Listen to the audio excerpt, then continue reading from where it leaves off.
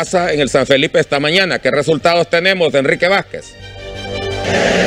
Gracias compañeros en estudios, así es, estamos en la parte de afuera del Hospital San Felipe y lamentablemente tenemos que reportar, según la información que hemos recibido por parte de las autoridades, que en las últimas horas una persona más ha muerto a causa del COVID-19. Con esto sería un total de 25 hondureños que han perdido la vida durante la pandemia aquí en este centro de asistencia médica.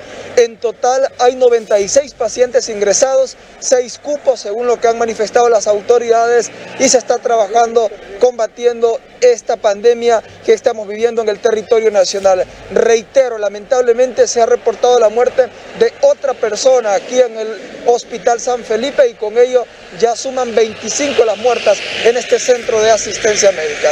Junto a César Reyes, que es quien me acompaña en cámaras, regresamos al estudio principal.